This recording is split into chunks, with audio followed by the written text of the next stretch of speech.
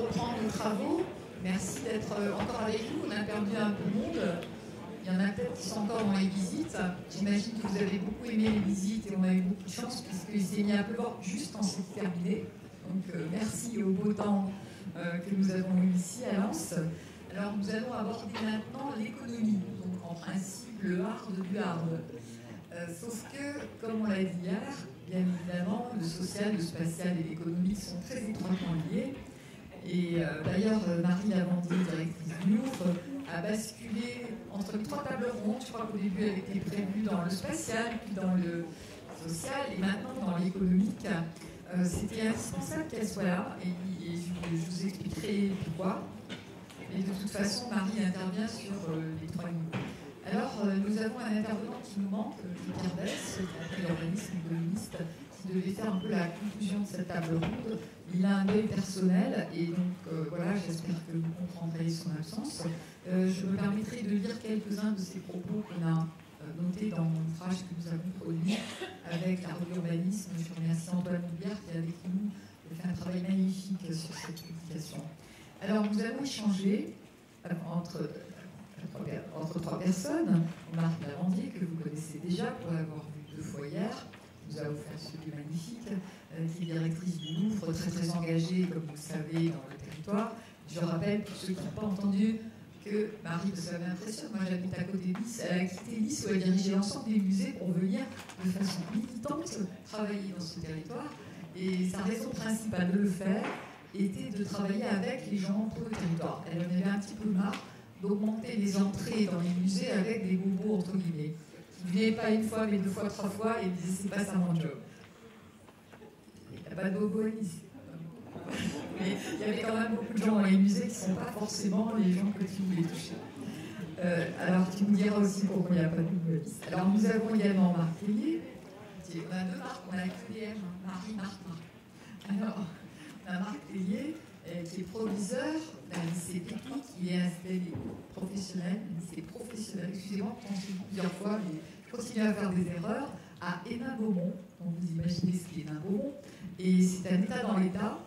Et il, va vous raconter comment euh, il fait à lui tout seul, réellement, euh, une agence pour l'emploi, une agence de formation permanente. Enfin, on le verra ensemble. Euh, et puis, euh, nous avons Marc Chassot-Béné, qui est adjoint à la culture de Saint-Étienne et qui est également vice-président de la métropole en charge du design et du numérique. Alors, les deux sujets ne sont pas étrangers à notre table ronde économique et donc Pierre Bess n'est pas avec nous. Euh, on va échanger sur euh, la manière de dynamiser un territoire au plan économique, puisque c'est tout à fait essentiel, ce qu'on vous demande principalement, je vois les élus, certains des élus au premier rang, euh, on vous demande principalement de créer de l'emploi. Messieurs les élus, je pense qu'on vient chez vous pour vous dire, au secours, nous voulons que nos enfants restent sur le territoire, c'est indispensable de créer des emplois. Alors, Pierre Bess, qui a travaillé sur le territoire et qui a présidé Forum, Forum économique, qui est membre du cercle de qualité, insiste sur le fait que l'économie dans laquelle nous entrons euh, a déjà un rapport à la géographie physique beaucoup plus fluide. Le développement local repose d'abord sur les compétences des hommes, sur la capacité de projet, sur les réseaux, sur le capital social et sur la qualité de la gouvernance, ce qui renvoie vraiment à une question à la prochaine table ronde. Il dit aussi c'est là que se situe le problème majeur du bassin minier. Il n'est pas seulement dans l'empreinte physique du passé, mais dans son empreinte sociale, des valeurs humaines de solidarité et de courage, certes, que toutes les entreprises reconnaissent, mais aussi la maigreur des réseaux et des connexions externes, une attitude attente à l'égard des puissances tutélaires, la faiblesse du tissu entrepreneurial endogène. Avant tout, il s'agit de retrouver de la confiance, de comprendre que l'avenir est ouvert. Et alors, il salue l'action de relance et celle du Louvre. Mais Également, il vous ouvre des perspectives. Il dit les exemples de résilience et de récupération spectaculaire dans des territoires industriels en crise ne sont pas rares. Il parle du Pays Basque, il parle de Baltimore, de Liverpool, il parle, il vous parle aussi évidemment de Saint-Étienne, parce que vous êtes exactement dans cette situation. Mais il dit c'est vrai que le bassin minier n'a pas tous les atouts de ces territoires, donc il faut élargir la focale, considérer ce territoire dans un environnement plus vaste et se souvenir qu'on est ici tout près de Lille, aussi de Paris et de Bruxelles. Donc je vous dirai après ses conclusions. Peut-être je rajouterai simplement qui dit qu'il y a un certain nombre d'atouts qui sont la qualité de la main-d'œuvre, la situation géographique qui est très favorable, euh, qui soutient des activités comme la logistique. On verra tout à l'heure que la logistique, c'est un plus et c'est un moins, parce que ça aussi, ça vous produit des problèmes de transport absolument considérables. Euh, il dit aussi que le contraste est très grand entre les indicateurs économiques relativement corrects et les indicateurs sociaux très dégradés. Et euh, parmi les atouts, il y a la disponibilité, le faible coût du logement, le faible coût du foncier. Et il cite euh, Jane Jacobs qui disait All buildings, new ideas. Donc, qu'est-ce qu'on fait dans les bâtiments existants? Et euh, c'est un, une opportunité, on l'a vu tout à l'heure avec le Louvre Lens-Vallée, qui est un incubateur d'entreprise, à quel point ces bâtiments anciens euh, sont des lieux extraordinaires pour produire des innovations, et c'est pas Saint-Étienne qui nous dira le contraire tout à l'heure. Par contre, sur le plateau négatif de la balance, il parle des cloisonnements, des cloisonnements physiques et des cloisonnements institutionnels et des cloisonnements des frontières, le fait qu'on n'est pas vraiment une métropole. Donc je reviendrai juste à la fin sur euh, sa conclusion. Alors, on va commencer avec Marie. Donc le Louvre a été un cadeau au territoire. En même temps, euh, le Louvre est à la fois apprécié et critiqué. Critiqué, bizarrement, par des journalistes qui ne comprennent pas que faire venir presque 500 000 visiteurs par an, c'est beaucoup pour un territoire comme celui-ci. Euh, on attendait peut-être euh, des, effets comme ceux du Guyana, mais ça n'est pas comparable. Ça n'est pas comparable. On ne pouvait pas attendre la même chose. On n'est pas dans une ville millionnaire et on n'est pas dans les mêmes conditions. Euh, mais ce qui est formidable, c'est le travail entrepris par Marie Lavandier, notamment sur le territoire, en lien avec ses sponsors, en lien avec les gens en difficulté, en lien avec le parc. Donc tout ça, c'est une histoire qui est passionnante et qu'on aimerait connaître mieux.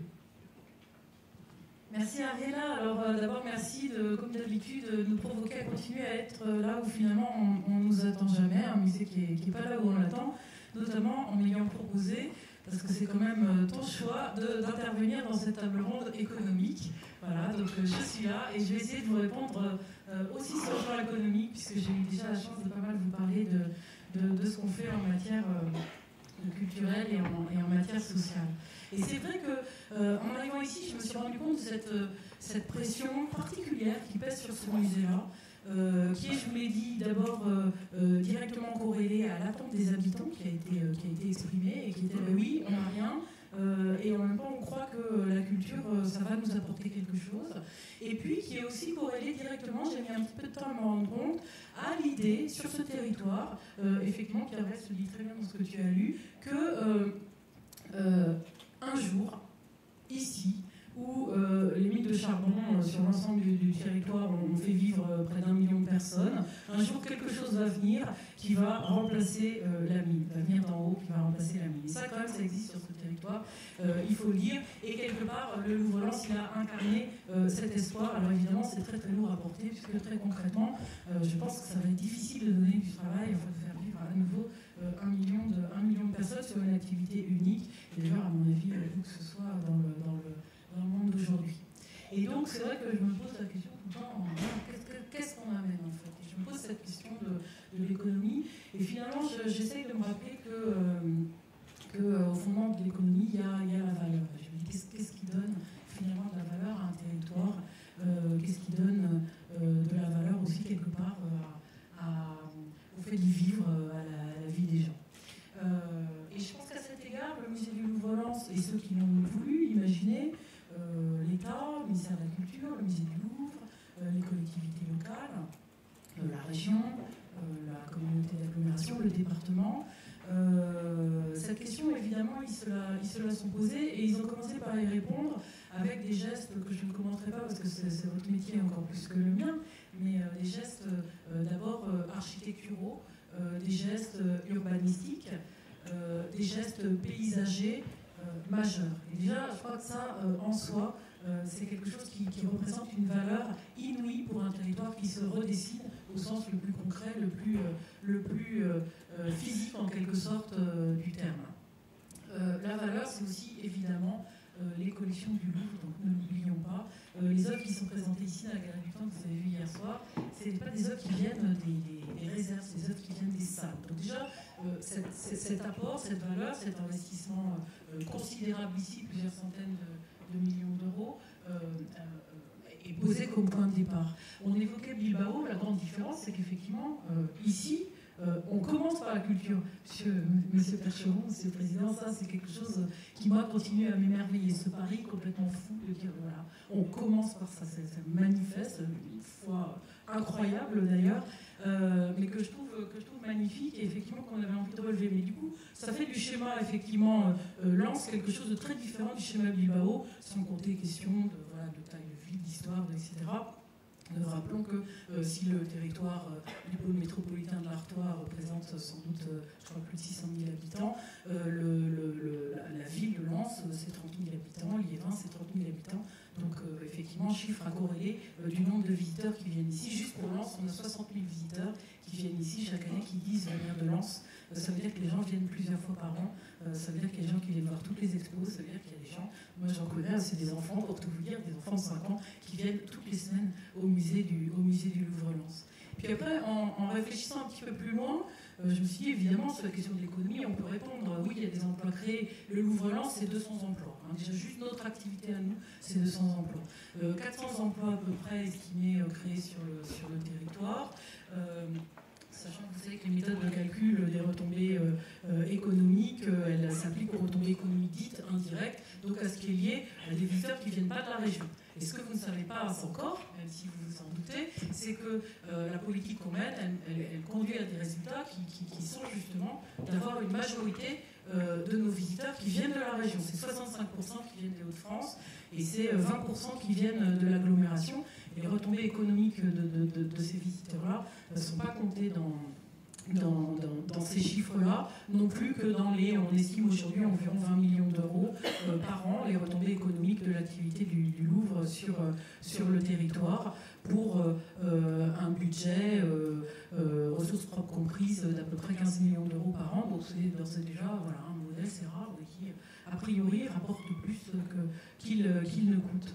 L'autre chose, c'est évidemment tout ce, qui est, tout ce qui est indirect, tout ce qui est euh, rayonnement, développement touristique, grâce à notamment toute l'infrastructure que vous découvrez depuis, euh, depuis deux jours euh, d'ingénierie de développement qui a été créée autour de nous, Ralens, Louvre-Lens-Vallée, et, et, les structures de développement touristique, notamment autour du Louvre-Lens, émanation du département, et le formidable office du tourisme du, territoire de, de, de. Et puis après, je me suis dit, mais c'est pas toujours nécessaire de construire, d'ajouter des objets euh, pour créer de la valeur finalement. La revitalisation, euh, la transformation, la valorisation euh, sont des choses qui donnent de la valeur. Donc effectivement, donner confiance, redonner confiance, ça je vous en ai parlé un petit peu hier, c'est quelque chose qui me semble en soi créateur de valeur.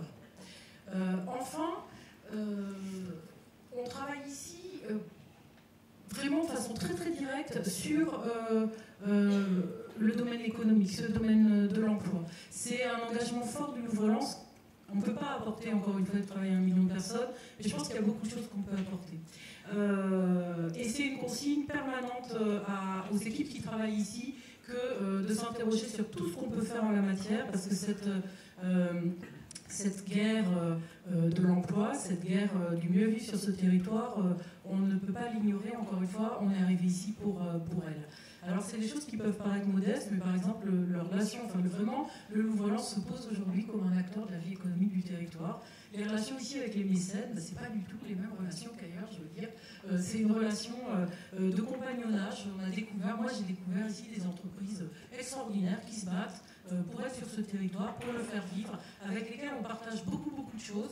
On partage des valeurs, on partage des objectifs, on partage aussi des questions sur comment on fait aujourd'hui, qu'est-ce que ça veut dire le travail dans le monde d'aujourd'hui, euh, comment on manage, comment on, comment on engage des, des, gens à travailler pour nous, avec nous, euh, sur des valeurs partagées. Comment, donc c'est avec nos mécènes des ateliers euh, art et management, c'est de la co-formation, c'est un mécène qui vient en mécénat de compétences, apporter des formations en communication par exemple aux autres mécènes, etc.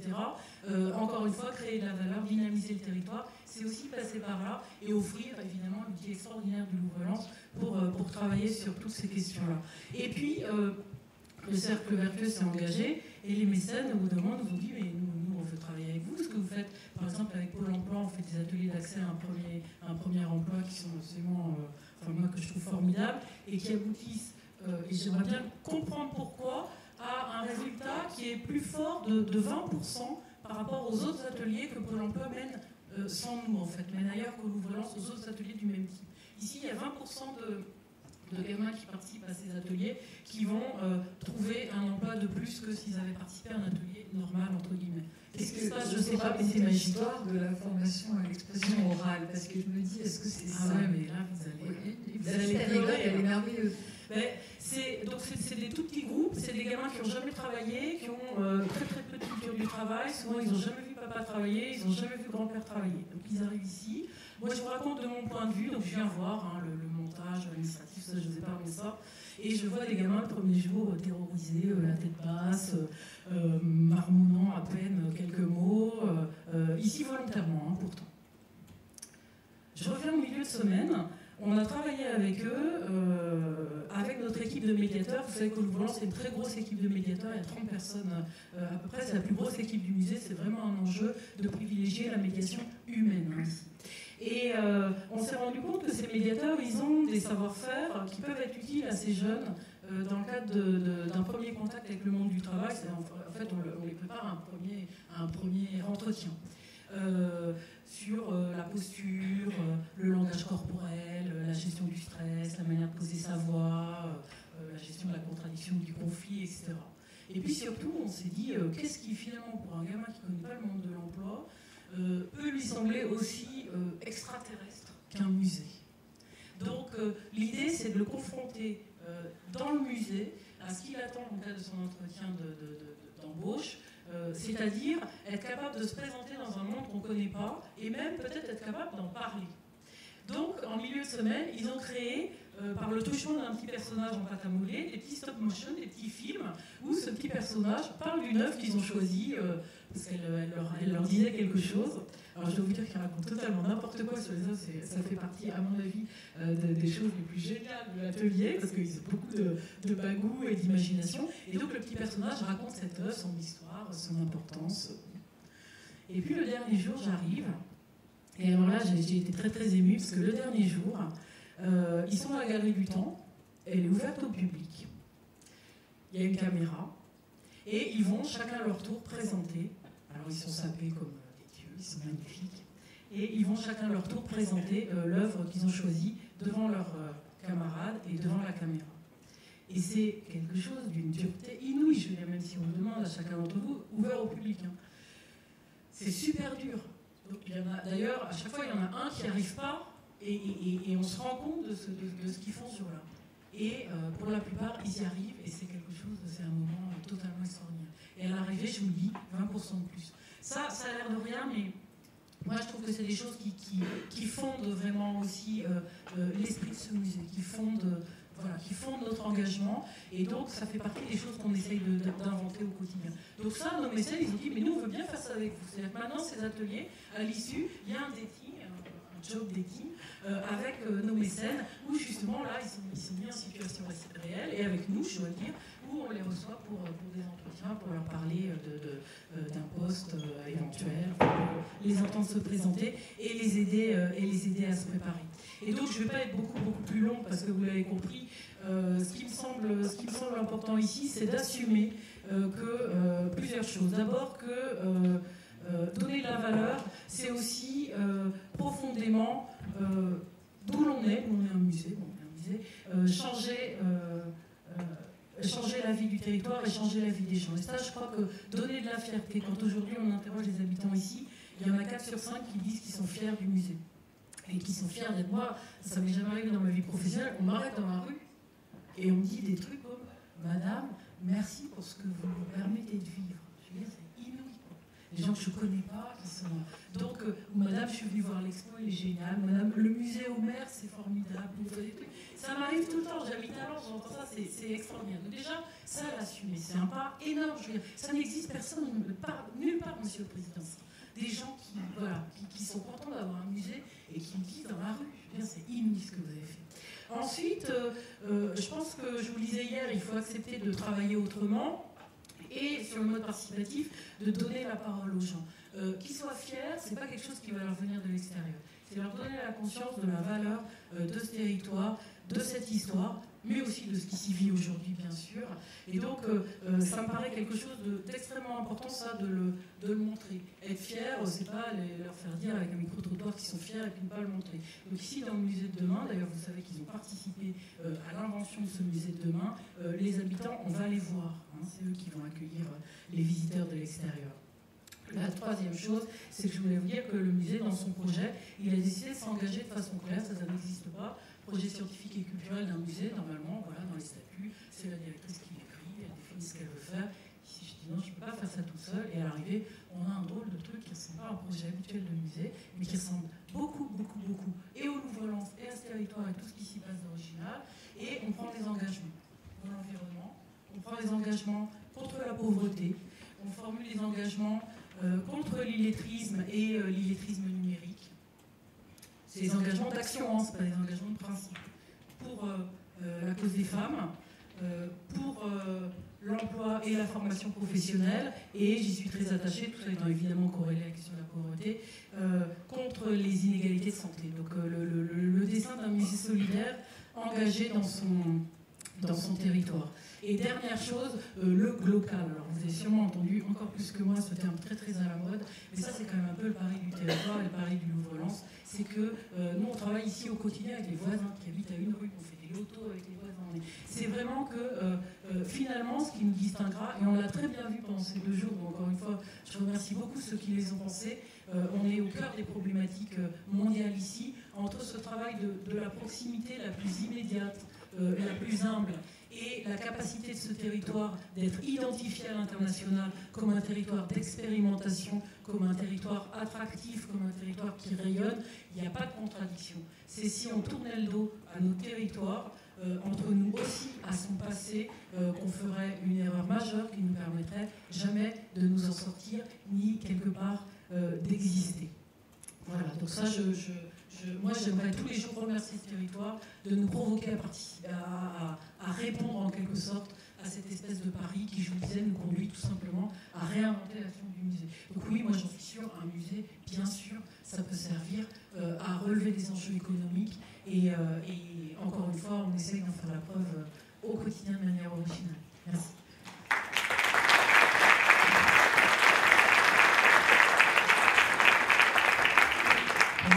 j'espère que l'attitude que tu as fera école sur d'autres territoires et peut-être que tu vas nous dira si à Saint-Etienne on va dans cette direction, ce n'est pas très courant tout de même. C'est relativement rare. Euh, pour euh, poursuivre, d'ailleurs Marie a déjà parlé de formation, donc je vais de nouveau évoquer ce que dit Pierre Betts en son absence. Euh, il dit une écloison dans ce territoire et celle qui sépare encore trop l'information de l'activité. Et Hier, Natacha nous en a parlé aussi de ça. Euh, donc euh, ici, comme ailleurs, la formation professionnelle initiale et continue est la clé du renouveau. Bien sûr, je m'adresse à Marc Payet. Pas seulement pour garantir une, employabilité à court terme, mais pour retrouver confiance, pour comprendre en particulier que l'industrie a de l'avenir. Ça, c'est un des grands messages de Pierre que la France a souvent tendance à oublier. Euh, et que les jeunes peuvent y retrouver des métiers passionnants. Les actions récentes engagées par les proviseurs des lycées, à cet égard, sont très encourageantes et évidemment, il évoque votre action, euh, Marc euh, vous m'avez absolument stupéfaite en racontant comment vous avez monté avec euh, d'abord vous, puis avec un autre proviseur qui était complice, comment vous avez monté une action incroyable pour travailler avec les entreprises. Vous avez squatté, je crois, la majorité des stages de l'Académie de Lille pour vos étudiants. Je crois que vous en avez pris presque, pas, 70%, la moitié, la moitié c'est pas mal.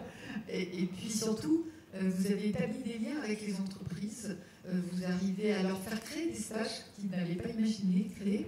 Euh, vous allez beaucoup, beaucoup plus loin, vous allez créer aussi un lieu d'échange avec les entreprises pour mieux comprendre chacun ce dont a besoin, ce, ce, que les entreprises ont besoin, ce dont vous avez besoin, et vous avez fait évoluer les choses à cet égard. Et encore plus, en fait, vous formez des gens au chômage pour les rendre employables. Alors comment vous faites tout ça en étant proviseur d'un lycée professionnel. Je vous fais totalement soufflant. C'est des gens de choses qu'on découvre sur ce territoire, c'est absolument incroyable.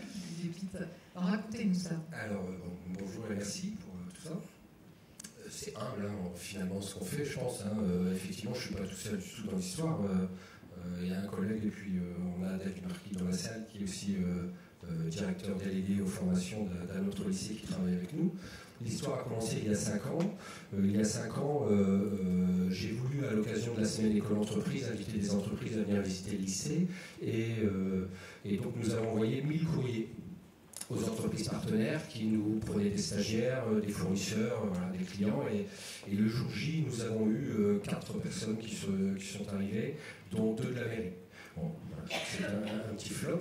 Et, et, ça nous a poussé à nous interroger sur comment faire pour pour tisser ces liens qui existent, parce que ces liens existaient au travers des stages en entreprise, mais finalement se limiter aux stages en entreprise. Comment aller un peu plus loin et puis faire en sorte qu'on se, rencontre.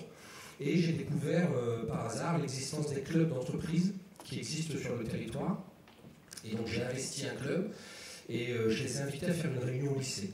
Et là, pour le coup, avec zéro courrier, 50 euh, chefs d'entreprise sont venus faire leur réunion chez moi, parce que j'étais content. Ça coûte beaucoup moins cher.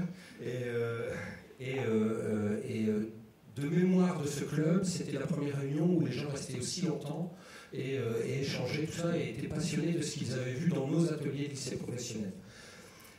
Et voilà, est arrivé juste après le forum emploi et formation de Valence. On a pu témoigner de cette expérience et une des préconisations du forum a été de dire et si on créait un club des clubs avec des chefs d'établissement et des chefs d'entreprise? Et puis avec le collègue en question, on s'est dit effectivement, et si on le faisait? Et donc on l'a fait. On a, euh, on a créé, on a brainstormé un petit peu, et puis euh, euh, on est sorti deux actions phares, mais qui nous permettaient d'investir les clubs. La première action, c'était d'ouvrir les lycées au club en, en, créant un catalogue, en mettant nos coordonnées, parfois même personnelles, voilà, pour être rejoints par les chefs d'entreprise en, ouvrant nos, établissements en disant euh, venez faire vos réunions d'équipe dans les lycées, euh, venez utiliser notre matériel. Euh, voilà, tout ça gratuitement, bien entendu, pour appâter un peu. Et comment? Et on a mis en place aussi un numéro vert dans la liaison école-entreprise, en partant du constat qu'effectivement l'éducation nationale était un petit peu quelque chose de, complexe et de nébuleux, et que quand un artisan souhaitait se lancer dans l'apprentissage, c'était pas forcément facile. Donc on s'est dit, on met un numéro vert en place, une entreprise a une question sur un stage, de la VAE, tout ce qu'on sait faire, formation initiale, continue apprentissage, cette entreprise appelle ce numéro et nous, en face, on fera en sorte de répondre à sa question, on, fera le, job à sa place pour trouver quel est le bon interlocuteur euh, dans nos services. De là, on a, investi les, différents clubs du territoire, il y en a 40. Euh, nous avons participé au forum des clubs d'Arras. je vous passe les détails. On a fait beaucoup de lobbying euh, et, de démarchage des entreprises. Et puis petit à petit, ça a pris. À un moment donné, on s'est dit qu'il faut qu'on aille plus loin. Donc on a commencé à organiser des séminaires d'échange. Donc là, on, organise le quatrième fin juin. D'ailleurs, dans l'hôtel du Louvre puisque euh, Antoine Bouillol nous accueille gracieusement. Euh, il a été euh, convaincu de la démarche. Et, c'est quelque chose qui fonctionne sans fond, sans statut, c'est totalement informel.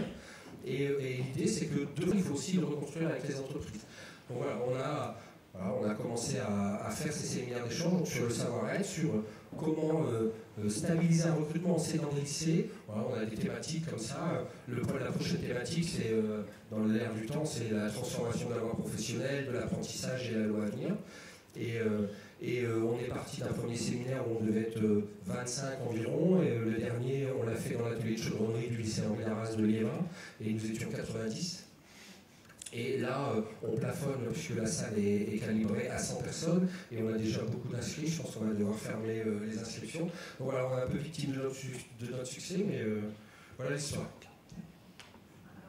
Vous m'aviez raconté une chose passionnante sur la manière dont vous ameniez vous jeunes, sur la question du savoir-être notamment, à maîtriser l'expression orale, parce qu'on sait à quel point c'est essentiel, et malheureusement en France, c'est une chose très très mise de côté l'expression orale alors qu'elle fait beaucoup pour euh, l'employabilité justement pour, la réussite de nos vies professionnelles. Et alors, vous m'avez raconté l'histoire du chef-d'œuvre. Comment vous avez fait évoluer vos, étudiants vers la fabrication d'un chef-d'œuvre et la défense de ce chef-d'œuvre? Je crois que dans les lycées professionnels, notamment, et puis du territoire de plus en plus, parce que vraiment la dynamique a bien pris, on, croit fort à tout ce qui est chantier école.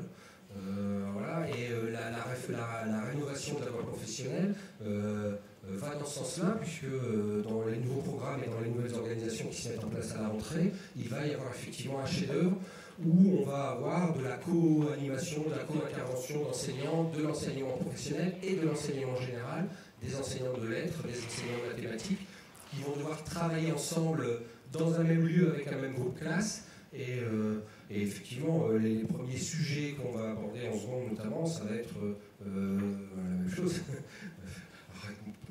Pas les mêmes outils, mais on va travailler la même chose, savoir se présenter, savoir euh, aller à un entretien d'embauche pour, chercher des stages. Défendre son projet. Défendre son projet, puisque à, l'issue des trois ans, le chef-d'œuvre devra être présenté devant un jury. Donc il y aura une prestation orale à mettre en place. C'est tout à fait essentiel. Vous raconté aussi comment vous avez attiré des jeunes euh, dans des, filières qui étaient porteuses mais qui ne les intéressaient pas du tout, comme la chaudronnerie. Comment vous avez fait? Quand je suis arrivé au, lycée, euh, je suis au lycée Henri de Beaumont, je suis arrivé l'année dernière euh, à la tête de ce lycée. Et effectivement, la filière chaudronnerie, c'est 45 places et on avait une vingtaine d'inscrits en septembre euh, seulement. Donc là encore, on s'est intéressé sur les motivations des jeunes à aller en chaudronnerie. Et je vous invite à fermer les yeux et, et imaginer ce qu'est un chaudronnier et voir si vous mettriez vos enfants dans ces formations-là. Et voilà. Donc la problématique, elle est là, l'image de ce métier. Euh, et, donc pour casser cette image-là, euh, on, euh, on s'est dit on va prendre des collégiens, puisque c'est là que ça se passe, on va prendre des collégiens et plutôt que de leur expliquer théoriquement ce qu'est un chaudronnier, on va aller leur faire rencontrer des chaudronniers. Donc on organise ce qu'on appelle dans les lycées des mini-stages, on fait venir des collégiens une demi-journée, une journée pour leur expliquer un petit peu la formation dans laquelle ils souhaitent s'inscrire. Et nous, au lieu de leur expliquer dans le lycée, on les a pris, on les a mis dans un bus et on est allé visiter des entreprises du territoire de chaudronnerie. Et effectivement, la moitié des élèves qui ont visité ces filières-là ont confirmé un vœu d'inscription. Donc cette année, j'avais une liste d'attente sur cette filière. Donc c'est vraiment, voilà, c'est quelque chose qui fonctionne, qui est simple à mettre en place hein, finalement, et qui fonctionne. Hier, hier j'avais euh, sept entreprises de chaudronnerie qui étaient dans le lycée. Nous sommes début juin, on a voulu monter cette opération-là euh, euh, avant la fin de l'année parce que on a des choses à faire ensemble dès septembre et on ne pouvait pas attendre septembre pour faire cette rencontre. Et on avait invité les élèves à venir rencontrer ces entreprises, sachant que début juin, alors mes élèves de première et de seconde sont en stage en entreprise, mes élèves de terminale passent le bac. On s'est dit, euh, la date n'est euh, pas terrible, mais on va essayer quand même. c'est 75 euh, élèves qui sont venus rencontrer les entreprises parce que vraiment, c'est un sujet qui plaît. Et, de, cette rencontre-là, et, hier, on a fait vraiment une belle opération avec les entreprises de chaudronnerie. Et en plus, vous formez des chômeurs. En fait, vous aidez les entreprises à former des chômeurs pour euh, qu'elles embauchent. Je pense que l'éducation nationale et les lycées pro sont mal connus euh, dans leur fonction de formation continue et, euh, notre capacité à s'adapter vraiment aux demandes très, très précises de certaines entreprises. J'ai deux exemples, dont l'exemple de l'Hôtel du Louvre. L'Hôtel du Louvre ouvre l'année dernière en, en novembre et recrute ses salariés et s'aperçoit que euh, ces salariés parlent très très mal l'anglais.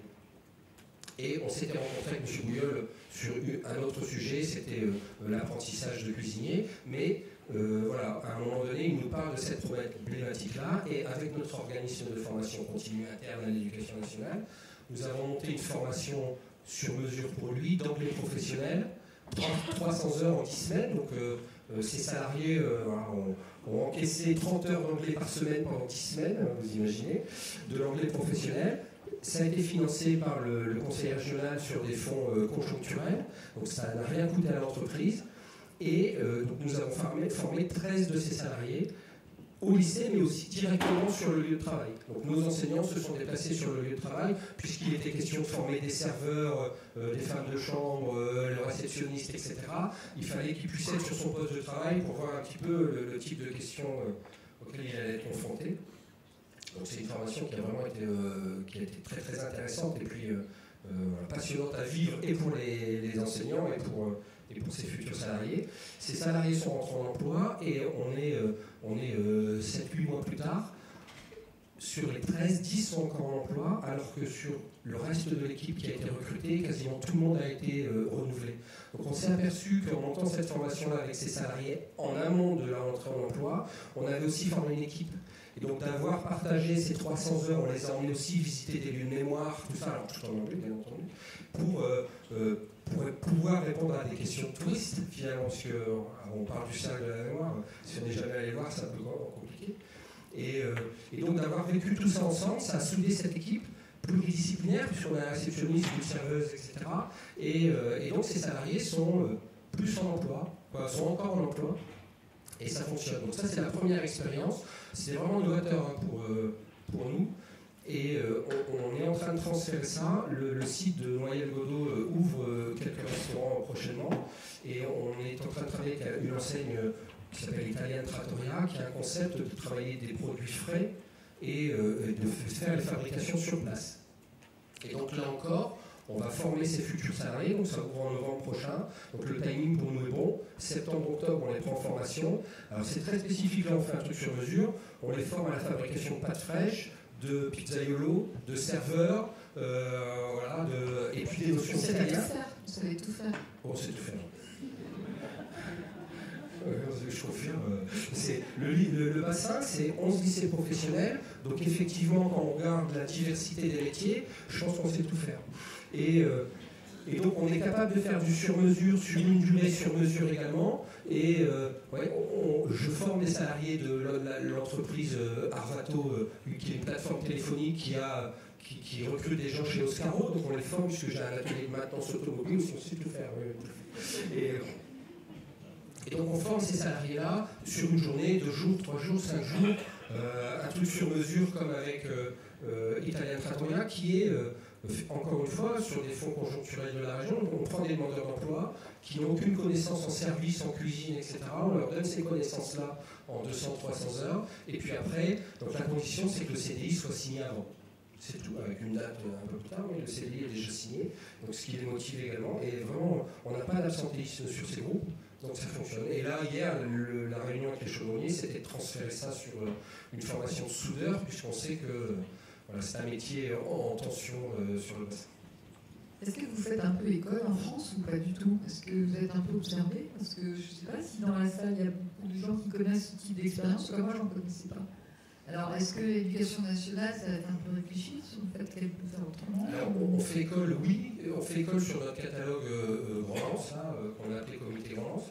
On fait école là-dessus, puisque euh, Béthune a lancé son catalogue, puisque Arras est en train de lancer le sien. On, réfléchit même à faire un truc commun. Euh, Douai est en train de lancer le sien. Voilà, je suis allé euh, présenter l'action à la main. Donc, la rectrice souhaite absolument que ce soit que ce soit pas copié, parce que c'est pas forcément transférable en l'état, mais au moins qu'on puisse témoigner de ce qu'on fait sur le En fait, vous inspirez la métropole de Lille, c'est formidable. C'est l'histoire de Lens. Eh bien,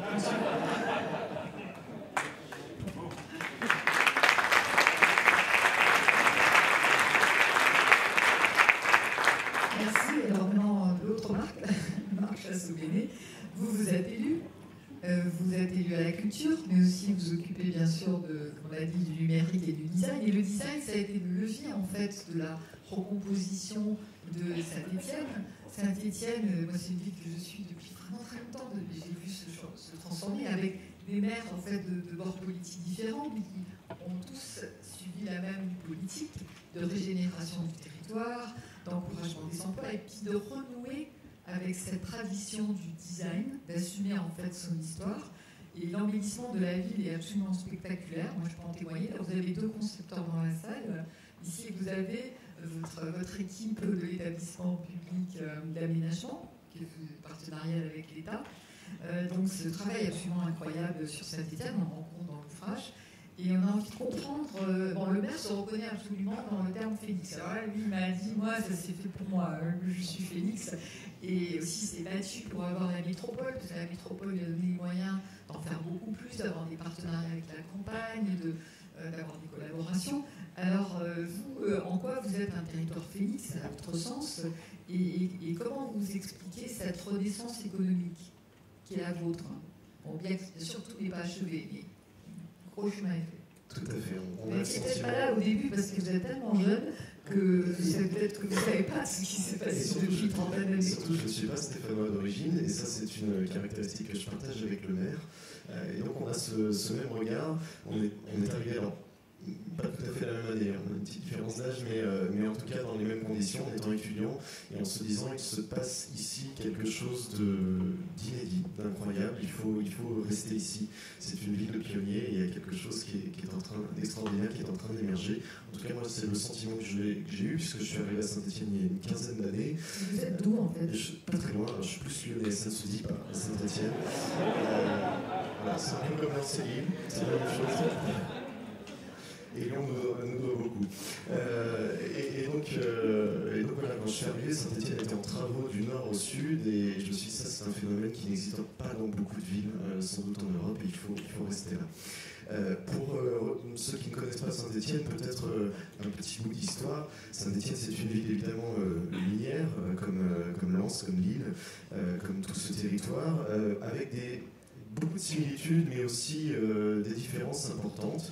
Euh, la mine à Saint-Etienne n'a pas, été euh, pensée de la même manière ou organisée. L'industrie minière n'était pas organisée de la même manière. On n'avait pas ce, cet aspect très paternaliste des industries minières sur la population, tel que le, maire de, de Los a pu nous dire ce matin.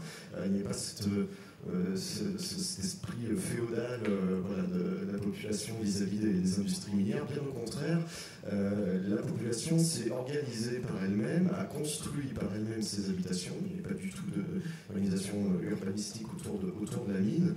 et donc ça donnait une espèce d'anarchie d'un point de vue architectural où chacun construisait, bien sûr en machère, hein, construisait des, immeubles un peu partout, un peu n'importe comment. Et il faut dire, en constituant une espèce de, bidonville autour des, euh, des puits miniers parfois. Euh, et euh, pourtant, avec cette, cette liberté d'entreprendre et d'innovation qui est restée et qui fait toujours partie de l'esprit stéphanois, puisque justement, il n'y avait pas cette emprise, on était capable, quand on maîtrisait la sidérurgie, quand on maîtrisait des techniques propres à la mine, eh bien, de se lancer dans une activité nouvelle et de s'émanciper par rapport à ces industries minières. Et c'est finalement cet esprit-là qui a beaucoup sauvé Saint-Étienne. Euh, parce que cet esprit d'entreprise et d'innovation est, voilà, perdure euh, et a toujours été lié à la dimension artistique. Euh, il faut savoir que ce sont des industriels stéphanois qui, au début du 19e siècle, ont fondé l'école d'art et design, l'école d'art à l'époque, qui est devenue aujourd'hui l'école d'art et design, parce qu'ils estimaient, et plutôt ils ont compris, que l'apport d'artistes dans leur production conférait à cette production une valeur ajoutée unique en Europe et dans le monde. Euh, et donc, ils ont constitué cette école dans laquelle il y avait une serre euh, avec des plantes parce qu'ils comprenaient qu'un artiste qui savait dessiner des fleurs euh, finalement apporterait au ruban fabriqué à Saint-Etienne une valeur ajoutée exceptionnelle. C'est ce qui a fait de Saint-Etienne une capitale de la, de la rubanerie, de la passementerie par la suite. Euh, on a fabriqué les vélos les plus légers, les plus innovants, les plus beaux, le, le fameux hirondelle, les fusils avec les crosses de, fusils les mieux ciselés. Et donc cela a fait de Saint-Etienne des grandes capitales industrielles. Euh, alors il paraît que Jules Verne aurait dit dans 100 ans Saint-Etienne aura dépassé Paris. Il, n'a pas été visionnaire pour tout, mais ça, donne, ça, donne, une petite idée de ce que Saint-Etienne a été. Et puis d'un coup, euh, évidemment, tout s'arrête. Euh, la sidérurgie s'arrête, les mines ferment, la passementerie s'effondre. Euh, bref, toutes les industries stéphanoises, se, voilà, vous connaissez l'histoire de la France, vous connaissez l'histoire du GIAT, de la manufacture d'armes, qui était la manufacture impériale, qui est devenue le, GIAT. Et puis voilà, de toutes ces grandes épopées stéphanoises qui s'arrêtent d'un coup. Mais ce qui est resté, c'est un tissu de PME, PMI très important, parce que cette capacité d'innovation était toujours là, cet esprit d'entreprise. Euh, d'innovation sociale aussi, je ne l'ai pas dit, mais c'est vrai que cette, émancipation a aussi permis la création des premières mutuelles, les premières, grandes innovations sociales sont aussi stéphanoises. Euh, et puis un réseau aussi d'écoles euh, très important. on a la chance d'avoir évidemment une université aujourd'hui commune avec Lyon qui, fonctionne très très bien. plusieurs écoles d'ingénieurs, ISTP, ENIS, etc., école des mines, évidemment, l'école supérieure de commerce, l'école nationale supérieure d'architecture, l'école supérieure d'art et design, c'est beaucoup, de supérieurs, l'Institut d'optique, Télécom Saint-Etienne, etc. Et ce tissu-là aussi a permis euh, de retrouver cette dynamique. Alors, toute cette histoire a amené effectivement à une intelligence politique collective, quelles que soient les obédiences d'ailleurs, qui a, qui a permis de se dire qu'il fallait peut-être pas faire table rase du passé, il fallait exploiter, utiliser ces savoir-faire et notamment cette spécificité euh, du lien entre, euh, entre art et industrie, ce qui a valu la création du musée que vous connaissez très bien, le musée d'art et d'industrie, euh, qui, est, qui mettait en valeur ce savoir-faire. et qui est à l'origine de la création du, musée d'art moderne et contemporain, qui est devenu la deuxième collection d'art moderne de France après Beaubourg, et bien sûr la Cité du Design. Alors, la Cité du Design, c'est finalement l'aboutissement de, la création par l'école d'art et design de la Biennale du Design, et puis euh, de l'opportunité euh, économique qui est, qui est née de tout ça, avec un pôle qui aujourd'hui concentre à la fois un pôle de recherche en design très, très avancé, un espace de, médiation, d'exposition, et puis euh, plusieurs pépinières aujourd'hui, plusieurs pépinières d'entreprise, on pourra peut-être développer si vous le souhaitez, et voilà, tout ça dans, un même lieu, avec bien sûr au cœur de tout ça l'école, supérieure d'art et design, euh, autour de cela, s'est développé plusieurs, euh, plusieurs industries, plusieurs spécificités. Euh, déjà sur le design, vous avez fait un très joli travail urbain qui ressemble un peu à ce qu'on a vu aujourd'hui sur le 9 bis, c'est-à-dire un mariage patrimoine-modernité, la platine de Philippe Lepel qui est une merveille, la, recomposition urbaine par Alexandre Chemitov. Donc il y a eu beaucoup de talents qui se sont exercés sur ce territoire et montrant comment un peu de manière anglaise, on marie patrimoine et modernité avec beaucoup de subtilité. Je crois que ça, ça comptait beaucoup quand même dans votre régénération. Tout à fait. Et puis avec un très beau symbole qui était la du design est né sur le site du GIAT, qui fabriquait évidemment euh, des canons puis des fusils, euh, le MAS, le FAMAS, euh, que beaucoup connaissent. et c'était effectivement une très belle résurrection sur un site d'armement, de créer un site dédié à la culture, à la création, à l'innovation. Et aujourd'hui, tout ça s'est beaucoup développé autour de, autour de la filière du, de l'usine du futur, ce qu'on appelle le new manufacturing. Euh, donc c'est une des, grandes compétences stéphanoises qui est portée notamment par un, par groupement d'entreprises. Euh, on, parle, là de, euh, procédés avancés de, fabrication, donc procédés de, fonctionnalisation des matériaux, de, technologie des surfaces. Euh, et euh, à tout ça, eh bien, on associe évidemment l'université qui crée d'ailleurs, qui construit sur ce quartier créatif euh, de la Cité du Design un nouveau pôle dédié à l'innovation des, surfaces. et donc tout cela représente 4500 entreprises, 20 000 emplois qui sont déployés dans ce quartier créatif. Alors on l'appelle quartier créatif parce qu'il a été pensé autour de la création dans tous les sens du terme. Euh, c'est-à-dire la création artistique. On y a bien sûr la Cité du Design, le Zénith, le, Fil, qui est une salle de musique actuelle. Euh, on est à proximité du arts moderne et contemporain. Bientôt, une galerie d'art euh, très importante va s'y installer également.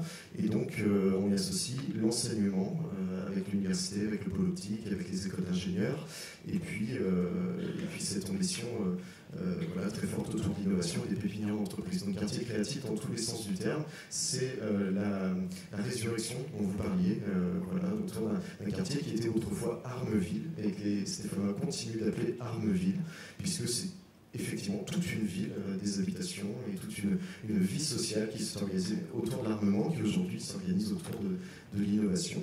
Et puis la deuxième, euh, la deuxième filière, je disais qu'il y a trois euh, leviers, il y en a deux mais trois. Euh, la deuxième, c'est la filière santé, sport et prévention.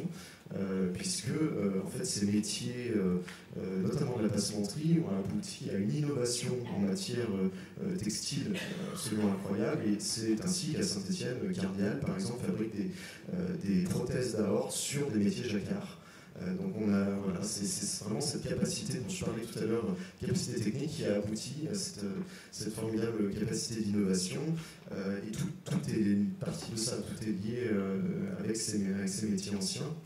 Et évidemment, euh, tu as Siglaris, autant d'équipements sportifs, de, voilà, de prothèses, d'équipements de, chaussettes, etc., de très très haut niveau que vous retrouvez aujourd'hui chez les grands joueurs de foot, sont fabriqués à Saint-Etienne sur les mêmes bases. Que, que, ce passé-là.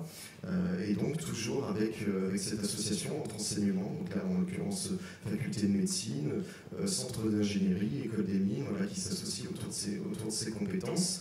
et donc, donc voilà, on parle là de, développement de nouveaux textiles, de matériaux, de produits de services, notamment la, question du bien vieillir est, très, prise en compte. Voilà, tout ça dans, une reconfiguration urbaine tout à fait fascinante et qui aboutit aujourd'hui euh, ça très longtemps, mais euh, à une réussite réelle, puisque euh, ça a un impact sur, sur le centre-ville. Depuis 5 ans, Saint-Etienne gagne à nouveau des habitants. Elle en a perdu 50 000 pendant plusieurs décennies. Elle gagne à nouveau des habitants. Elle est à l'opposé des tendances concernant le, nombre de commerces en centre-ville, puisqu'on gagne à nouveau des créations de commerces. On est en sol positif de création de commerce, qui est exactement l'inverse de ce qu'on constate un peu partout.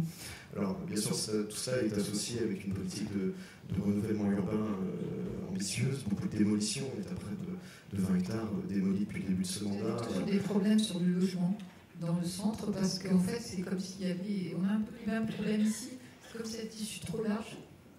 Et qu'en fait, il y a des. Alors, vous commencez, on l'avait vu avec, avec Chacarto, il y a des démolitions dans le centre pour refaire maintenant des parcs, un peu comme Barcelone, parce que vous n'arrivez pas à attirer les gens là. Alors, il en parle d'ailleurs, mais, euh, mais c'est vrai que oui, le travail de l'établissement public d'aménagement euh, de Saint-Etienne est, très très important. Alors, c'est un peu différent de la configuration que, que j'ai pu voir ici à Lens. Euh, Saint-Etienne n'est pas étendu comme peut l'être Lens en, en, matière d'habitat. C'est une ville très étendue puisque c'est la même surface que Lyon euh, pour une fois moins d'habitants, mais, euh, euh, mais par contre le centre-ville est très concentré, les, habitats sont très concentrés et surtout ce qui a été proposé pendant plusieurs années est surtout un habitat de, de mauvaise qualité, donc peu de, de, réhabilitation, donc un patrimoine dans un état extrêmement complexe et puis ça a été longtemps un logement social, en tout cas un logement à bas prix. Donc là, c'est exactement le contre-pied qui est pris. Donc ce sont des, réhabilitations extrêmement qualitatives. Euh, l'idée, c'est d'offrir des, produits euh, euh, qualitatifs, des produits de, standing. Et vous avez fait le tissu. Et voilà, et de démolir sans forcément reconstruire. Donc, donc effectivement, les passes notamment interviennent beaucoup sur ces questions-là de démolition. je disais, on a démoli près de 20 hectares en en l'espace de 5 ans. Euh, et la question est surtout de ne pas forcément reconstruire. On propose euh, à la place de ces démolitions souvent des parcs, des espaces euh, urbains repensés pour offrir une qualité de vie nouvelle et pour attirer finalement une, population qui avait fui vers notamment ce qu'on appelle la plaine du forêt, donc des villes relativement bourgeoise, euh, aérée, espacée, où finalement il est plus simple de vivre en famille. Et là, alors c'est typiquement le, phénomène bobo, hein, on est en plein dedans, mais on a su ça complètement. Euh, c'est des bobos à Saint-Etienne Oui, et de plus en plus, les hipsters, tout ça, mais c'est très bien. Euh, et, finalement, surtout, ça, ça, crée une mixité sociale qu'on ne connaissait pas et qui, qui est extrêmement bienvenue, qui apporte beaucoup à la ville, qui permet beaucoup d'échanges et qui en plus correspond à, des responsabilités euh, nouvelles que les gens se donnent en matière de, développement durable. On apprécie de vivre en ville avec toutes les commodités sans posséder une voiture, en ayant euh, toutes les offres centre-ville, en pouvant euh, accéder à l'opéra, au musée d'art et contemporain, aux musées, aux différents musées de la ville, parce qu'il y en a beaucoup. vous essayez de faire des choses qui peuvent intéresser aussi le territoire ici.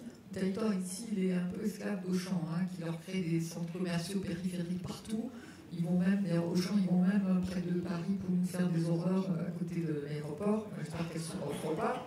Euh, en tout cas, vous souffrez ici, on souffre de ça, parce que les centres-villes souffrent de cette périphérie. Et, vous, vous, avez, vous essayez de régénérer. Vous, vous êtes un peu sous l'emprise de, de Casino quand même, hein, qui possède la ville, hein, qui est puissant. Alors, vous êtes en train d'essayer de voir avec eux comment vous pouvez recomposer l'entrée de ville et, de toutes ces boîtes horribles, arriver à faire quelque chose de plus urbain. Je crois que les bases s'attellent à cette tâche. Hein, succédant, enfin, c'est les bases surtout qui travaillent là-dessus. C'est très compliqué parce que en fait, ces boîtes à godasses, elles valent beaucoup d'argent parce qu'elles elles valent rien, mais elles valent beaucoup. C'est pas de porte, beaucoup d'argent. C'est très très compliqué de recomposer. Donc nous, on est très très intéressés par ce que vous faites, mais aussi par ce que fait Montpellier, parce que c'est les deux seuls endroits où on est en train d'essayer de, de transformer ce modèle. Est-ce que vous allez y arriver? Alors c'est toute la question, on y croit forcément, euh, mais c'est vrai que Saint-Etienne a souffert exactement du même phénomène. Euh, la, Chambre de commerce commerce a estimé à peu près 600 millions d'euros annuels la, fuite commerciale des, capitaux vers des, grandes, des grandes surfaces commerciales d'autres vallées. et donc le choix a été fait finalement de ne pas opposer les modèles, donc de ne pas vouloir faire du centre-ville et du commerce de proximité à tout prix, mais c'est de trouver une complémentarité. vous avez beaucoup embelli votre centre-ville. Il y a Frédéric Bonnet qui est là, et Gérard Pénaud qui ont travaillé avec vous pour faire des choses super dans votre centre-ville, hein, on, on, peut le dire quand même. Euh, et, et, ça a aidé quand même à faire de centre-ville. Je disais qu'on ne pose pas les deux parce qu'il y a effectivement un projet de centre commercial qui est sur le territoire de Saint-Etienne, Saint-Etienne Intramuros. Donc euh, c'est une entrée de ville qui a été choisie pour, pour euh, ce centre commercial qui constitue 200 millions d'euros d'investissement, c'est 800 emplois même Casino. c'est en partie Casino, pas seulement. voilà, Casino avait déjà un, avait déjà un un supermarché qui a agrandi avec une zone commerciale qui a agrandi, et c'est Apsis qui a pris en face euh, l'initiative de construire ce, centre commercial. Alors évidemment, design, euh, puisque, puisque nous sommes la ville du design, donc on a essayé de le penser différemment, de penser le rapport au centre commercial différemment, et de le penser en lien avec le centre-ville. Et c'est vrai qu'il y a euh, des axes majeurs de développement du centre-ville qui permettent cet équilibre euh, notamment, euh, notamment la gare de Château-Creux, puisque c'est un quartier sur lequel il y a eu énormément d'interventions et d'investissements. Voilà, exactement, qui connaît le sujet, je crois, par cœur. et, donc là, ce sont des, beaucoup, beaucoup de mètres carrés de, bureaux, plusieurs dizaines de milliers de mètres carrés de bureaux qui ont été construits dans ces cinq dernières années, qui ont permis l'émergence d'immeubles très beaux, très bien pensés, et qui se sont contre toute attente, extrêmement bien vendus. Ce sont des programmes qui sont très bien vendus, de nouveaux hôtels. Euh, voilà, on parle à chaque fois sur ces projets de 70 millions euh, d'investissements, uniquement des investissements privés. Le tout a été de créer euh, l'intention, créer l'opportunité et les projets, les projets ont suivi. C'est le cas du quartier créatif dont, je parlais tout à l'heure, puisqu'au-delà des, au des projets que je citais, qui sont des initiatives publiques, la cité du design, euh, la, formation euh, et, les pépinières d'entreprise, il y a des, initiatives privées, il y a d'ailleurs des, pépinières privées également, puisqu'on a le village de l'ICA, puisque euh, donc des investissements privés arrivent de ce fait-là. Donc c'est vraiment une dynamique commune, générale, globale, qui, Quand même, est Vous nous disiez, Marc, ce qui va mal, parce que c'est pas possible que toi et bien. Non? Mais, oui, non, effectivement, on n'est pas arrivé au bout du chemin, ça, c'est une évidence. Saint-Etienne est toujours une ville où la moitié de la population est inactive, donc une ville qui doit compter euh, sur des ressources euh, limitées. mais c'est vrai qu'on constate aujourd'hui les effets de cette ambition-là, comme je disais, par la création, par voilà, ce rattachement à l'histoire, à une identité forte. Mais c'est pas chose aisée, ça ne se décrète pas. et Saint-Etienne est toujours une ville qui n'est pas très à l'aise avec son passé, si ça peut rassurer un peu des, gens de ce territoire. Ça, vraiment, ça va intéresser nous élus, il y en a beaucoup ici. Euh, euh, parce qu'ils se demandent, certains m'ont dit, qu'ils se demandaient s'il fallait toujours qu'ils s'appellent bassin minier. Alors, en même temps, ils sont fiers de leur histoire, mais c'est compliqué.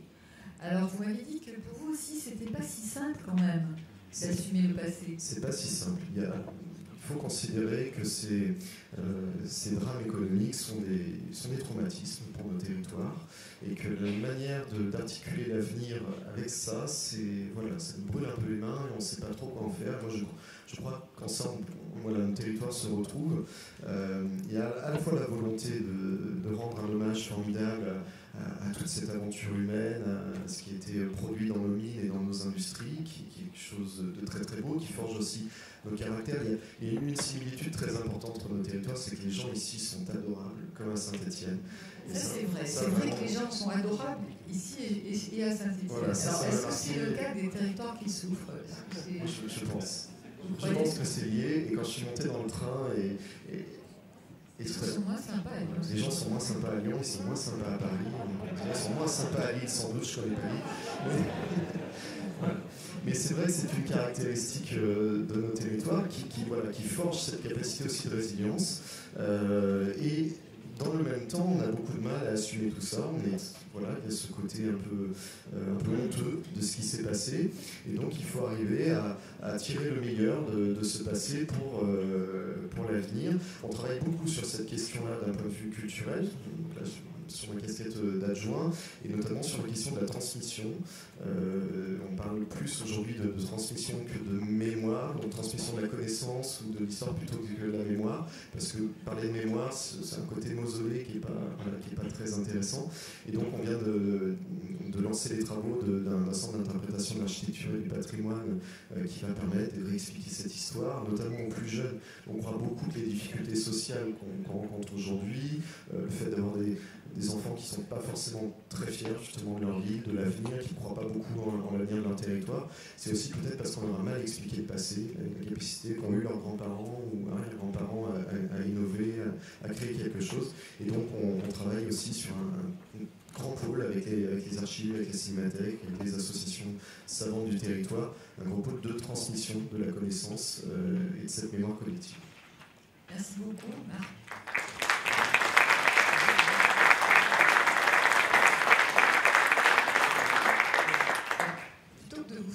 Directement discuter entre vous. Je crois qu'on va prendre la salle parce qu'hier on les a épuisés, on, leur a fait table ronde les unes derrière les autres, ils n'ont pas pu prendre la parole. Donc j'imagine que là ça va vous stimuler, vous avez envie de dire des choses, un témoignage, poser une question. avec les verts, avec le foot. Ah ouais, absolument, j'allais demander le foot, c'est la mémoire, c'est le foot aussi, Saint-Etienne. Bah, je crois que c'est un peu comme à Lens, finalement, il me semble, hein, en tout Mais c'est aussi une notion très très importante. Euh, c'est vrai que les Verts sont plus qu'ils étaient, alors ils se débrouillent pas trop mal, mais c'est. Voilà, les. Non, non, les Verts. Euh... non, non, les Verts à Saint-Etienne, c'est les Verts. Mais c'est une notion très importante et on a été le premier musée euh, dédié à une équipe de foot qui est aujourd'hui dans le stade. Euh, et moi, j'ai en tant qu'adjoint à la culture, j'ai le plus grand respect pour cette initiative-là et c'est l'établissement le plus visité, au-delà même du musée de la mine, euh, parce que là aussi, cette mémoire collective est, formidable pour la ville. C'est voilà, des éléments communs dont on a besoin pour, avancer.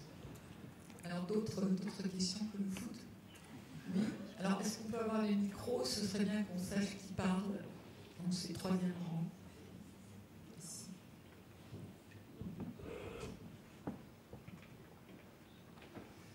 Merci, oui, ça, marche. Euh, Dominique Renaudet, Société Neoclid. nous, on, donc, on est cabinet de conseil euh, sur les questions d'innovation territoriale. On s'intéresse beaucoup finalement aux dynamiques d'engagement euh, des parties prenantes, des acteurs publics, des acteurs privés sur ces dynamiques donc, sur, l'innovation en général. Et donc j'avais une question plutôt pour Madame Lavandier, mais tout le monde est invité à, y répondre. Finalement, sur le, musée agit un peu comme un, vaisseau amiral de la reconquête euh, territoriale. Et moi, ce qui m'intéressait, et donc vraiment bravo pour toutes ces initiatives hein, qui, sont, menées, je suis très très impressionné. Et ce qui m'intéressait, c'était de savoir comment s'organise finalement euh, la décision de ces prises d'initiative euh, par rapport aux, politiques publiques qui sont menées sur le territoire, et donc notamment aux initiatives qui sont portées par les collectivités indirectement. Donc l'articulation entre euh, vos propres initiatives et celles des, collectivités, je serais intéressé par ça. Et puis, euh, vous en avez un peu parlé, mais vous avez aussi engagé donc, des, choses avec les, acteurs privés, le monde économique. Et ça m'intéresse aussi de voir comment euh, tout ça s'organise. Et alors, on ne l'a pas trop cité, vous ne l'avez pas trop cité cet après-midi dans, cette intervention, mais finalement, en toile de fond, il y a Euralance. Et donc, quel, quel rôle joue finalement Euralance pour, pour organiser toute cette dynamique? Merci. Alors, ça fait beaucoup de questions. Je n'ai pas, cité vraiment, sauf que, bon, par exemple, les initiatives de marque sont labellisées. Ça fait partie justement des actions labellisées qui montrent que ce n'est pas seulement physique, mais c'est aussi des, actions sur le fond, sur l'économie, etc. Euh, merci beaucoup pour la question. Je ne répondrai pas sur Valence, merci Ariela. Euh, mais euh, euh, c'est une question qui est très intéressante, qui est effectivement profondément une question de gouvernance de l'innovation territoriale, justement, et qui est un petit peu au cœur, au cœur de, des questions qu'on se pose aujourd'hui. ici, les, les, choses ont été menées de manière assez, comment dire, assez expérimentale, assez, pragmatique en vérité. moi, je ne suis pas là depuis très longtemps, je suis là depuis deux ans et demi. et j'ai été, assez frappée en arrivant, assez frustrée même en quelque sorte, que euh, euh, justement euh, les, les, des, politiques publiques semblaient ne, pas vraiment imaginer finalement ce à quoi pouvait leur servir le, musée du Louvre-Lens. je pense que le musée du Louvre-Lens, il y avait probablement sa part de responsabilité. il avait dû se construire en quelques années dans une influence énorme. Et euh, il n'était pas quelque part, il n'avait pas eu la possibilité de sortir de sa zone de confort, comme honnêtement il peut le faire aujourd'hui. Donc euh, euh, l'idée, ça a été, vous avez raison de parler d'initiative, ça a été quand même un petit peu de, de, faire la preuve de ce que ce musée était capable de s'ouvrir à d'autres champs d'enjeux, d'une part. Euh, de faire la preuve de ce qu'il était euh, euh, capable de, co-construire. Donc je le disais hier, hein, les, projets ici ils ont été co-construits, mais jusqu'à l'épuisement si vous voulez, parce que chaque chose qui se faisait effectivement faisait l'objet d'un projet co-construit avec un partenaire, etc. Parce que évidemment à l'échelle où on travaille aujourd'hui, ce qui n'est pas très tenable. Il faut apprendre à, modéliser le dispositif et à modéliser la, gouvernance, si j'ose dire. On arrive, je pense, aujourd'hui, sous réserve de, la vie notamment de de, ces. Il n'y a que des messieurs aujourd'hui, ces messieurs les élus. Euh, on, arrive à un autre moment où je pense qu'à force, d'avancer, euh, eh ben, il y a un certain nombre d'envies, euh, d'idées, de choses invraisemblables qu'on n'a pas l'habitude de faire avec des musées, qu'on pourrait faire avec celui-là, qui naissent, y compris dans l'esprit notamment des, collectivités locales. Ce sont des questions qu'on s'est beaucoup posées au niveau de, justement de l'élaboration de notre projet scientifique et culturel. En fait, on a eu deux grands, deux grands temps ici de, réflexion et mise en œuvre de gouvernance un peu différentes. Euh, le premier, c'était nos cinq ans. C'est qui paraît, on ne va pas fêter nos cinq bougies euh, devant tout le monde, on va associer dans un processus qui a duré une année un petit peu tout le monde pour voir euh, ce qu'on avait envie de fêter ensemble et ce qu'on avait envie de continuer. sur cette base-là, on a construit notre projet scientifique et culturel avec des, des, modes de gouvernance assez, assez originaux y compris en interne d'ailleurs, hein, votre question elle va en interne aussi. Par exemple, en interne, euh, euh, à, l'issue de ce, processus d'élaboration du nouveau projet, on a décidé de mettre en place un, budget participatif euh, à vocation des idées qui naîtraient de notre équipe, vraiment de, voilà, de, la base, si vous voulez, pas de la direction, pas de, pour financer ces projets dans le cadre justement des cinq engagements du musée que j'ai pu que pu citer. Donc la, question trouvera sa réponse dans le processus qui est en train d'être mis en, place en ce moment, qui est bien celui maintenant de la, mise en place euh, collective euh, de ce projet euh, scientifique et culturel. Après, derrière votre question, il y a évidemment l'idée, c'est la base et je le dis peut-être pas suffisamment, mais que oui, le musée c'est sûrement un vaisseau amiral de plein de choses, c'est un symbole de plein de choses. très clairement, tout seul, il n'est rien. Et il y a ici ces, structures merveilleuses euh, dont fait partie Euralance, euh, dont j'ai cité un certain nombre d'autres, euh, qui, à mon avis, collectivement avec nous peuvent, assumer auprès des collectivités locales la question des. peuvent relever les enjeux qui, auxquels il faut qu'on fasse face.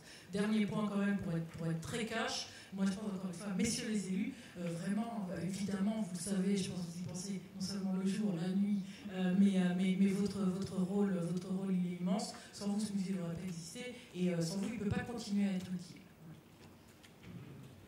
Marie fait partie du cercle de qualité qui avait été initié par euh, Jean-Louis Subilo, qui est quand même un lieu d'échange très important entre les gens du territoire, euh, les acteurs très, très vivants de ce territoire, des, experts venus d'ailleurs, il y en a dans la salle, il y a Nathan Sarkman, il y a François Créter. Et je crois que ces échanges sont très importants parce que le cercle de qualité écoute les gens comme Marie, écoute les élus, et peut aussi apporter son expertise. Donc il y a cette culture urbaine partagée. Marc Morin fait partie du cercle de qualité. Il cuisinier donc deux étoiles. Vous avez profité hier de son savoir dans la formation des jeunes. Ça aussi c'est formidable, hein, ces petits jeunes qui ont Ouais, c'est merveilleux. Et qui, euh, qui installé de façon militante sur ce musée pour accroître encore l'envie d'y venir. Parce qu'on mange 35 euros, hein, c'est sublime. Voilà, tout ça, ça fait partie de, cette culture commune, je crois, ces échanges. Et je crois que le rôle de Jean-Luc qui a eu cette idée du cercle de qualité et d'y faire rentrer, par exemple, Marc Morin, c'est formidable. Alors, d'autres questions, d'autres réactions? Vous n'êtes pas très stimulé ça Oui? Ah, Super, derrière. En fait, on voit très mal à partir d'ici. Oui, euh, donc une question. Alors, Olivier Manzel sur les, politiques de l'habitat à la DHUP. Euh, c'est pas sur les politiques de l'habitat, mais c'est plus sur l'aménagement. C'est une question pour, Saint-Etienne. Il se trouve que je connais un petit peu la, région pour être un petit peu à l'ouest de Saint-Etienne.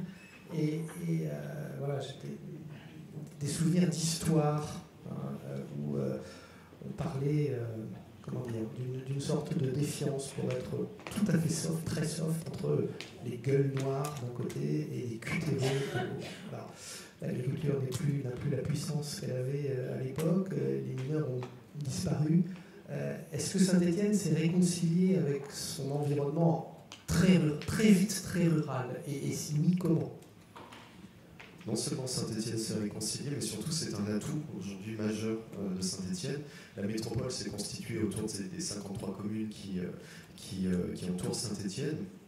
Euh, c'est l'atout de ce territoire, c'est qu'il y a une ville-centre très forte et puis des, plus petites communes, moyennes communes euh, autour, mais euh, qui permet finalement de, trancher assez vite. Je sais par confrontation d'expérience que c'est plus compliqué dans des territoires où on a deux grandes villes au sein d'une même métropole. Ça, peut, être plus complexe. À Saint-Etienne, le territoire est assez équilibré de ce point de vue-là. Et aujourd'hui, de manière évidente, c'est un atout de, de, cette métropole d'avoir une grande partie de, son, de sa couronne euh, rurale. Euh, d'abord parce que c'est aujourd'hui très recherché par des visiteurs extérieurs, c'est une question d'attractivité territoriale euh, très forte, et parce qu'il y a une, complémentarité réelle dans les soutiens. donc les discussions sont, assez vite constructives dans la métropole. Quand on parle par exemple de développement de transport, il est facile, en tout cas facile, parler comme ça en matière politique, mais euh, ça se fait bien de discuter d'une troisième ligne de tram comme celle que nous allons construire, d'un projet à 70 millions d'euros financé par la métropole, largement soutenu à 90% a été voté par euh, plus de 90% par les maires des, 53 communes, autant que euh, d'investir dans une nouvelle, euh, nouvelle ligne de bus qui ont été complètement redessinées sur la métropole pour desservir ces zones rurales. La compréhension est, très naturelle aujourd'hui et, je disais les soutiens même exceptionnels ne vont pas que dans un sens. dans le cadre des, des manifestations de Gilets jaunes, par exemple, ce sont les communes environnantes qui ont proposé un soutien exceptionnel à la ville de Saint-Étienne pour les euh, dommages qu'elle avait subis dans son centre-ville. Ce sont des actions assez émouvantes. Euh, c'est assez rare en politique de, voir euh, cette mobilisation générale et là aussi sans, discussion partisane. donc cet équilibre, effectivement, aujourd'hui est, évident avec le territoire rural de Saint-Étienne. Père Brio, le maire, parlait de la coopération avec la campagne, notamment pour développer le bio de proximité. Euh, donc les écoles, euh, je crois que vous avez imposé un bio de proximité, donc ça fait vivre aussi les campagnes. Oui, euh, quand on est arrivé en 2014, il y avait déjà une mise en place du, 100% bio dans les cantines, sauf qu'on s'est rapidement rendu compte que le poulet venait, de Pologne, que le poisson venait de pays improbables d'Asie, et donc ça n'avait aucun sens du point de vue du développement durable et même pas du point de vue de la qualité, puisqu'on sait que ces labels varient effectivement selon, selon l'origine notamment des viandes, mais pas seulement. Euh, et donc la, réflexion a été euh, de travailler d'abord avec nos voisins, d'abord avec les villes environnantes et d'abord avec des producteurs euh, locaux. Donc effectivement, cet antagonisme de, de métier n'existe absolument plus. Et, comme je le disais, c'est une, richesse absolument évidente un atout. Saint-Etienne est, une, je crois, la ville d'Europe, la deuxième ville d'Europe avec le, territoire forestier le plus vaste. Euh, ça aussi, c'est quelque chose qui est très recherché aujourd'hui. Euh, les, gîtes, les gîtes ruraux, les balades en et voilà. C'est un atout véritable. On a le, premier port intérieur européen avec Saint-Victor. Donc cette nature euh, est un apport évident. Comme on ne va pas seulement se centrer sur Saint-Etienne, on, pourrait, on pourrait aussi quand même dire que c'est pas si facile parce que limiter l'étalement urbain, j'imagine, au sein du métropole, ça ne doit pas être très facile parce que ce que vous voulez, vous, c'est que les gens habitent chez vous. Or, ceux qui ont les moyens, ils sortent. Et est-ce que la métropole, ça vous aide quand même à limiter le développement des lotissements Aujourd'hui, oui, parce que les PLU sont discutés en commun, parce que euh, les compétences sont remontées, c'est tout l'intérêt euh, d'une métropole. C'est-à-dire qu'aujourd'hui, la plupart des compétences de voirie, d'assainissement, c'est plus courant dans les communautés urbaines et dans toutes les agglos, mais euh, c'est vrai qu'aujourd'hui, la plupart des compétences d'aménagement du territoire sont euh, centrées sur la métropole.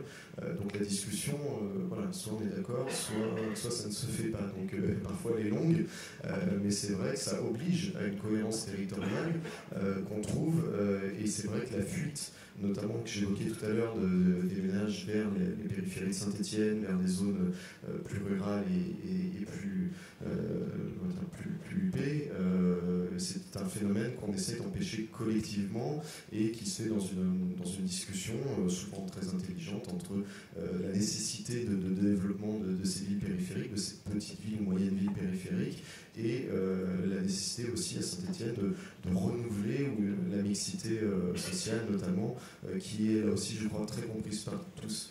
Euh, je crois pouvoir dire assez librement que euh, la, métropole est euh, ou les conseils métropolitains, c'est une instance souvent moins politicienne que, des conseils municipaux. C'est une instance où, le développement territorial, la notion d'intérêt territorial collectif a, beaucoup plus d'importance. On verra tout à l'heure avec les élus si ici ça peut être intéressant d'imaginer une métropole sur le pôle métropolitain. C'est que les Anglais ils font ça. Je vous raconter ça tout à l'heure. C'est assez stupéfiant parce que les Anglais ont inventé la figure du maire métropolitain la demande des élus locaux. Et qui, le maire métropolitain a été élu au suffrage universel sur des territoires parfois qui ont la taille d'un département. Donc ça ouvre une perspective peut-être ici, ça peut être intéressant, on verra. Peut-être que vous échangerez tout à l'heure avec euh, les élus d'ici. Euh, est-ce qu'il y a encore une euh, envie de poser des questions sur la formation, sur la culture, lien avec l'économie? Je vois, ah, je vois quelqu'un qui parle qui fait ça, mais c'est pas. Veux pas la parole. Non? Quelqu'un du cercle de qualité, je sais pas, moi, Nathan, Starkman, il peut en dire quelque chose Non? Bon, Jean-Louis? Bien. Alors écoutez, si vous n'avez plus en. Ah oui, ah, quand même, voilà, Nathan. Il fallait te. Alors Nathan Starkman, qui a, été, qui a dirigé l'agence urbanisme de Paris, et puis de celle de Lille, qui est Grand Prix d'urbanisme. Le seul Grand Prix d'urbanisme qui était sur la ligne du monde. Je ne vous expliquerai pas pourquoi. Nathan. Tu, aimes bien me rappeler les mauvais souvenirs en plus. Non, c'était formidable. Euh, tu as fait monter notre Grand Prix d'urbanisme. justement, moi je, vais poser une question qui, qui, me renvoie à mes dernières euh, activités professionnelles. Ville, toute proche de votre métropole. Donc qu'est-ce qu'elle vous apporte? Quels problèmes elle vous pose euh, et notamment sur le, thème culture, innovation, développement économique. il me semble comprendre que c'est un petit peu le, même rapport que contre l'Ancélie, euh, ce phénomène de fascination-répulsion. À la fois, voilà, ce sont les grands frères, et puis en même temps, euh, on a peu peur qu'ils mangent. Euh, dans le domaine de, l'innovation, c'est extrêmement, enfin, c'est une question vraiment pertinente parce que ces dernières années, notamment, la question s'est beaucoup posée autour du design. Euh, Lyon avait une intention forte de se positionner sur la question du design. Nous étions euh, ville créative euh, UNESCO Design, capitale française du design. Et évidemment, cette intention nous a, un peu fait peur, beaucoup. plus qu'une question, là aussi politicienne, j'utilise vraiment ce terme pour parler d'opposition politique, euh, c'est une question d'intention euh, de territoire. Et la discussion qui ne se faisait pas euh, avec Gérard Collomb s'est fait avec David Kimmelfeld. Donc il y, a vraiment, c'est vraiment une question d'hommes en l'occurrence. et nous avons trouvé aujourd'hui un accord très, très clair avec la métropole de Lyon, à tel point que nous avons signé un accord cadre entre les deux métropoles qui détermine très clairement les compétences de chacun. le dernier aboutissement en date, c'est le label French Tech, euh, puisque vous savez, dans le cadre du nouvel appel à, projet euh, French Tech, il fallait que les capitales euh, se positionnent. Saint-Etienne n'avait plus la capacité d'être capitale French Tech. On disposait de ce label French Tech avec une spécificité design tech qui nous avait été attribuée par Axel Lemaire. Euh, et donc on risquait de perdre, ce label. Lui, on n'avait pas besoin de nous, très clairement, pour, pour disposer de ce label Capital French Tech. Et euh, la discussion est tellement riche que finalement, le Saint-Etienne a pu faire valoir euh, ses compétences en matière de design, en matière de new manufacturing, en matière de, santé, d'innovation dans la santé. Et Lyon a associé ses compétences dans sa candidature. Aujourd'hui, c'est une capitale commune, Lyon French Tech, qui a été, euh, qui a été labellisée. Donc cette répartition des compétences de, ces savoir-faire aujourd'hui est très claire. Elle est cadrée, y compris en matière d'enseignement, puisque l'université Lyon-Saint-Étienne, qui devient l'université Lyon-Saint-Étienne, a réparti de manière évidente euh, là aussi les, compétences et les savoir-faire euh, selon les deux territoires. Donc c'est pour nous euh, vraiment la situation idéale finalement où chacun fait valoir son histoire aussi, parce que c'est lié à l'histoire de, des deux territoires, et nous particulièrement notre histoire industrielle, mais on n'est pas passé loin de la catastrophe. on aurait pu être dans une concurrence concurrence totale dans laquelle évidemment Saint-Etienne se serait perdu. Alors on va sans doute terminer cette table ronde en interrogeant donc, les deux acteurs du territoire sur l'appartenance au bassin minier, sur l'appartenance à l'histoire même si vous n'êtes pas vraiment du territoire, comme vous êtes devenu du territoire.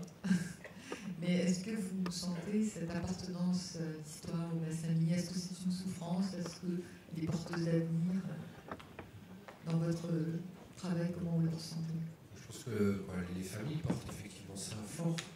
On, on lycée accueille 77% de population défavorisée, donc forcément c'est très très marqué. Euh, mais euh, cette fierté d'appartenir au territoire, on la sent, on la sent énormément même dans le tissu, effectivement, on travaille nous à l'échelle d'un bassin, on a du mal à communiquer avec les bassins d'à côté, tellement euh, on, est, chez nous ici.